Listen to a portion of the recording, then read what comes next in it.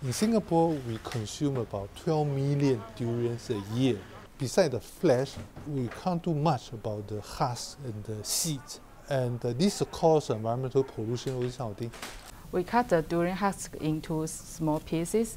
After that, we get the durian husk powder after freeze drying. Then we get the cellulose from the durian husk, pow durian husk powder by extraction.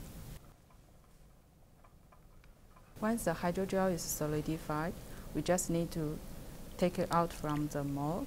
We add a phenolics into the gel to make to give it the antimicrobial activity.